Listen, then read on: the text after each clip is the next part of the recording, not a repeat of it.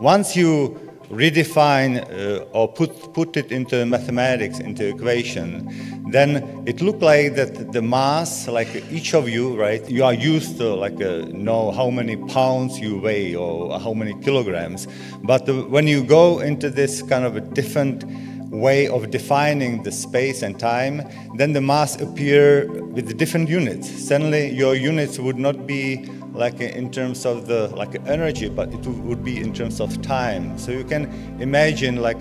each of the like a mass which is uh, in this space is basically temporal anomaly or some so, some sort of like a rotation in this three temporal space, which uh, was something that uh, I know to me it looked like very interesting that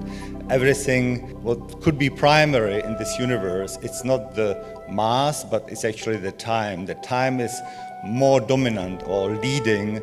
the idea that this is the really everything behind the existence or the reasoning of the of our universe